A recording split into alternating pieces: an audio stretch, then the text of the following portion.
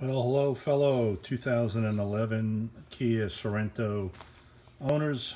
Uh, a lot of you guys have probably already experienced the infamous door won't open from the outside. Uh, we, uh, my wife and I actually, uh, the problem hit us on the driver's side, which of course is the worst one that can go.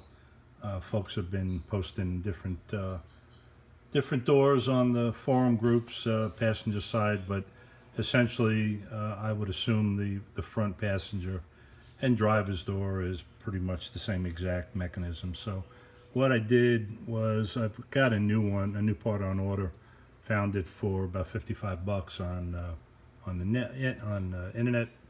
I actually bought it on eBay. So what I did is see here, this was the outer case to the unit. I removed, I actually drilled out the two rivets that you see right there in the middle of the screen. And then uh, a bunch of locking tabs all the way around. Was able to take that off then uh, of course removed the cable uh, that goes to the inside uh, lock. So here's the guts and here's the culprit. Uh, you've got a mechanism here that has a spring. And this is what the spring looks like. Let me get you back in the camera this is what the spring looks like if it was not broken. That would be the shape of it. And the way that sets up is the inner diameter goes around this post here. The one leg goes to a little tab that secures it there. And then the other leg goes up underneath this hook here. And I've got them marked in red to kind of highlight them. So what, what happens here basically is the spring keeps this in the up position. That allows when you rotate the mechanism, it allows the entire mechanism to open the door. Well, what you'll see is when the spring breaks, gravity allows this detail here to basically drop out. And it's kind of difficult to see but in that little open square that you've got right there you can see that arm that comes through. So this would be the locked position and obviously the door will not work but when I the spring was obviously in place and was working correctly that would be in the up position and then that allows that entire assembly then to rotate. So what happens is and here it is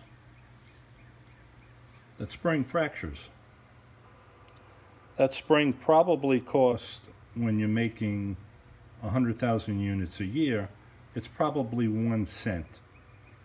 So that has caused all the problems that everybody's having with at least the 2011 Sorentos. I think it might even go past that with the issues. I don't think the design has changed. That's what's causing the inoperability uh, for you to open the door through the outside door handle. So unfortunately, I've got to order and already ordered uh, $55 worth of replacement assembly, which is unfortunate that that entire assembly, which is relatively complex, you see you've got the lock motor here, lock uh, tooth geared here.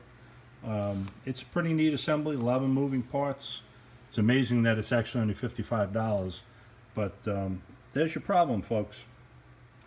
I'm going to try and see if I can order a replacement spring uh, through a company that I use sometimes that uh, has torsion springs. And I'm going to see if I can effect a repair on it.